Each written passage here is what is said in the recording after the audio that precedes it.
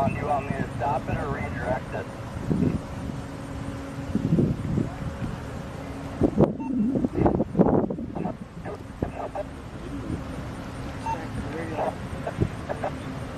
Thank you.